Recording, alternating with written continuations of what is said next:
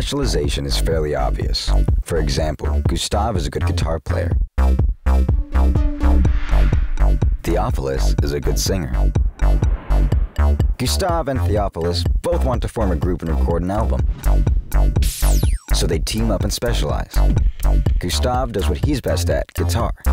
Theophilus does what he's best at, singing. Another concept to get familiar with is absolute advantage. For example, Marcella is better at guitar than Gustav and better at singing than Theophilus. She has an absolute advantage in both skills. Then there is comparative advantage. You see, Marcella is also better than Gustav and Theophilus at record engineering. Much better. Because Marcella is so much better at record engineering, she would be giving up an enormous advantage by choosing to play guitar or sing. What we give up with one choice by making a different choice is what we call opportunity cost. Both of them recognize Marcella's value by offering her financial compensation. Marcella holds a comparative advantage at record engineering. Gustav holds a comparative advantage at playing guitar. Theophilus holds the comparative advantage at singing. What about people who seemingly bring no special skills to the table? Despair not. Everyone has an opportunity to contribute in a positive way.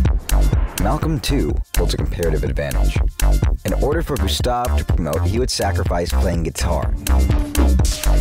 Theophilus would sacrifice singing, and Marcella would sacrifice record engineering. On the other hand, Malcolm is sacrificing very little by becoming the promoter. He has a low opportunity cost. Promoting is a less skilled job than playing an instrument or record engineering, but it is important and someone needs to do it. Malcolm's effort raises the value of the enterprise and everyone benefits. Economics is a study of human behavior amid scarce resources. A very important resource is time. Our limited time means we have to make choices. The principle of comparative advantage is a guiding hand in choosing how to spend our time. Even though Marcella is both an amazing singer and killer guitar player, she has a unique opportunity to be the record engineer. Because her skill is more scarce, she receives more benefits. This is not only the best opportunity for herself, but is the best use of time and skill for the entire group. After earning income from being a record engineer, Marcella has money to invest. Maybe she'll buy a top of the line microphone to record her next album. Or maybe she'll save her money. Or maybe she'll take a vacation. One thing is certain comparative advantage will play a role in her choice. Are you making the most of your comparative advantages?